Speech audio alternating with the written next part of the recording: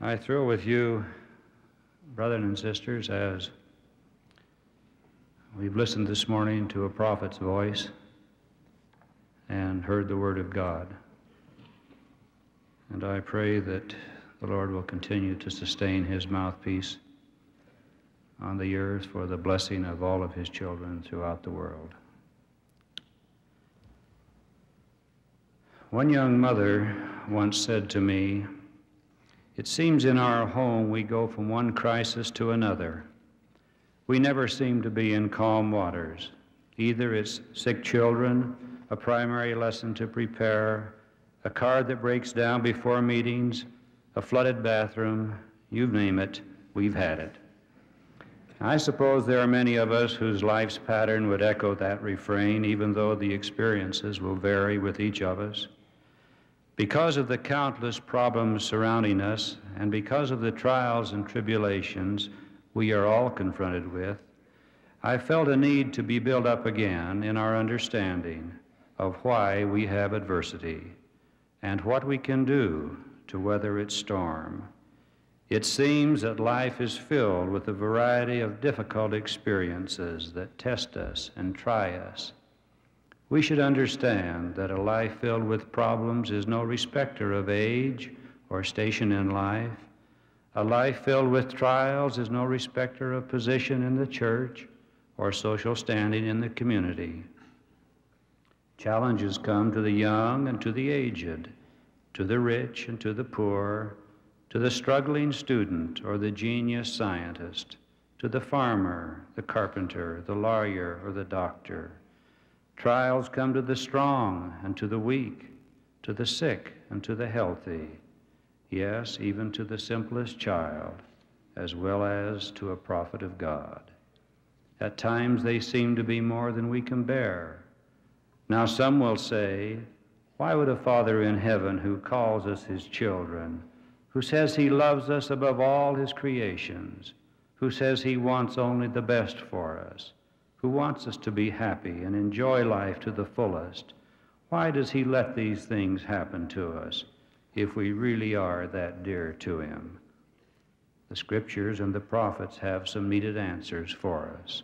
We read in Helaman, and thus we see that except the Lord doth chasten his people with many afflictions, yea, except he doth visit them with death and with terror, and with famine, and with all manner of pestilence, they will not remember him.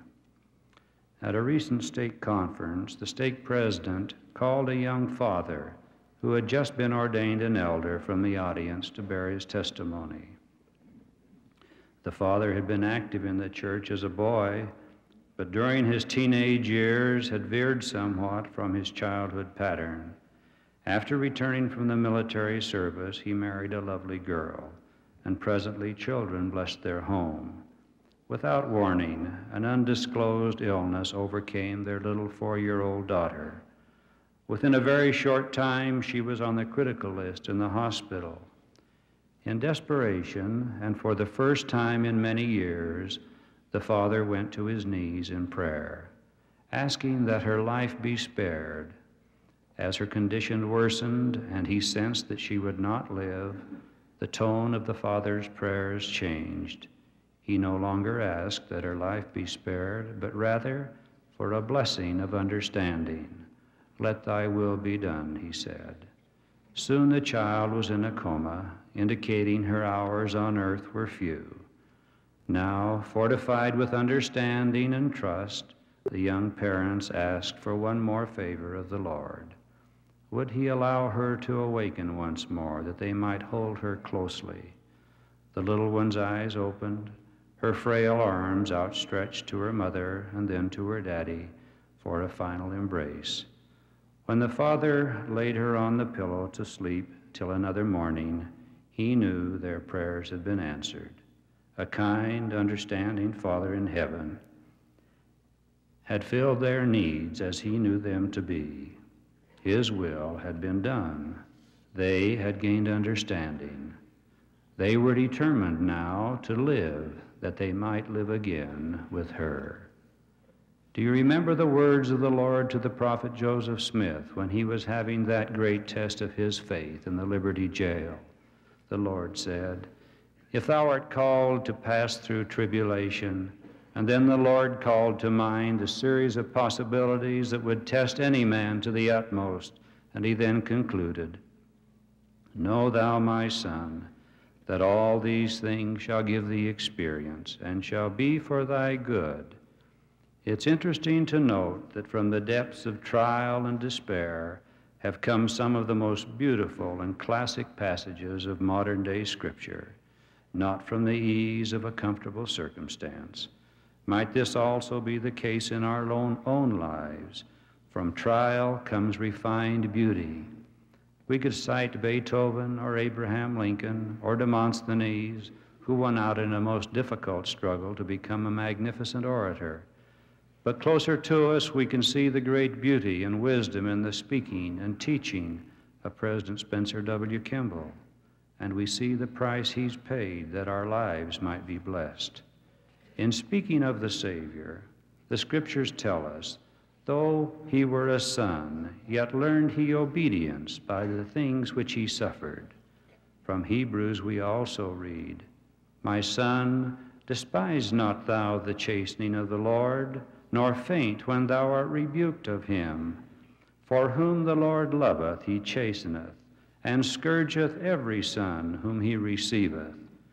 Let us remember, trials are an evidence of a father's love. They are given as a blessing to his children. They are given as opportunities for growth. Now, how do we approach them? How do we overcome them? How are we magnified by them?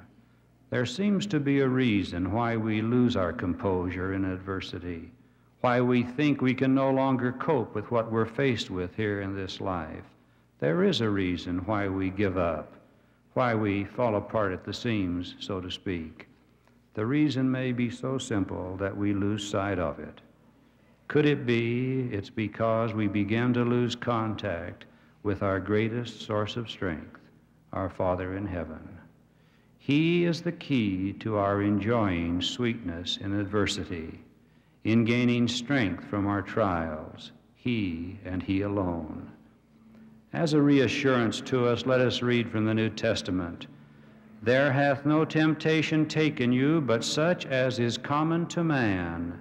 But God is faithful, who will not suffer you to be tempted above that ye are able but will with the temptation also make a way to escape, that ye may be able to bear it. Did you get the significance of that scriptural promise? We will have no temptation or trial beyond our ability to overcome. He will provide a way for us to rise above, whatever it may be. May I suggest the best way I know to keep close to the source of this great strength is through prayer. No man can stand alone in his struggle through life.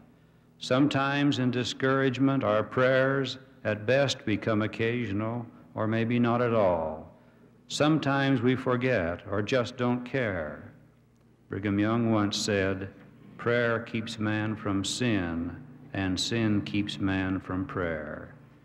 Now, some may be thinking that because they have a word of wisdom problem, or because they've been dishonest, or immoral, because they've not prayed for years, because of many reasons they now feel unworthy, they may say, It's too late. I've made so many mistakes, so why even try?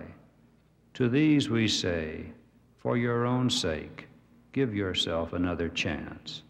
Sincere prayer is the heart of a happy and productive life. Prayer strengthens faith. Prayer is a preparation for miracles. Prayer opens the door to eternal happiness. The Father of us all is personal, ever waiting to hear from us, as any loving father would his children. To learn to communicate with him, to learn to pray effectively, requires diligence and dedication and desire on our part.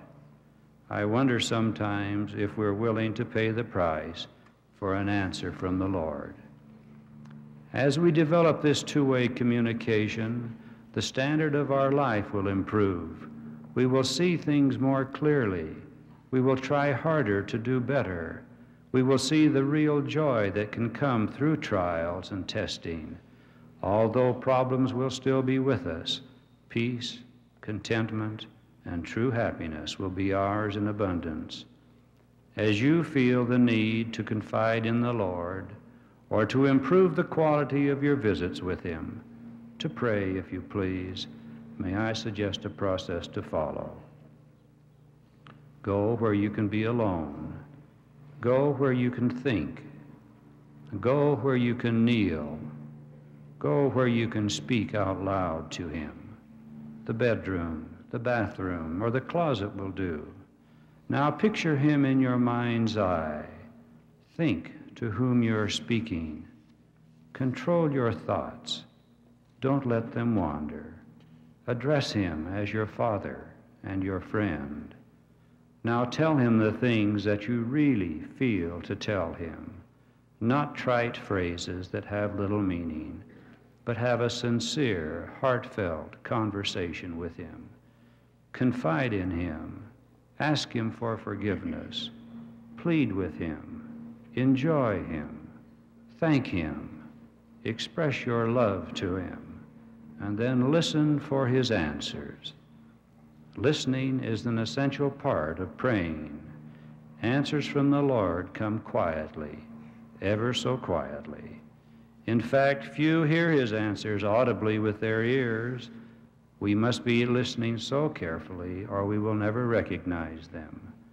Most answers from the Lord are felt in our heart as a warm, comfortable expression or they may come as thoughts to our mind.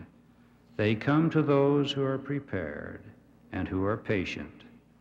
Yes, the trials will still be there, but with the companionship of the Spirit, our approach to trials will change frustrations and heartaches to blessings. Just for a moment, think with me. Forget the trials you now have. Remember back to those you had last year five years ago, ten years ago? What did you gain? What did you learn? Aren't you better prepared now because of them? I testify He's ready and waiting to help us. For our own good, we must take the first step, and this step is prayer. I know He lives, brothers and sisters. I know Jesus is the Christ. I know he established his church here for our blessing. I know his mouthpiece is before us this morning. In the name of Jesus Christ, amen.